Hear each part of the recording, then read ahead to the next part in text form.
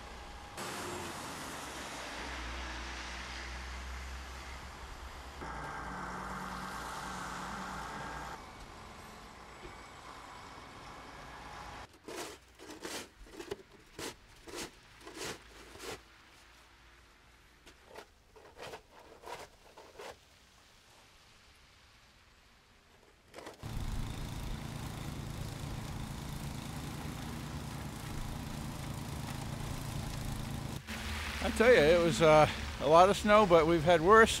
It just seems like it's worse right now.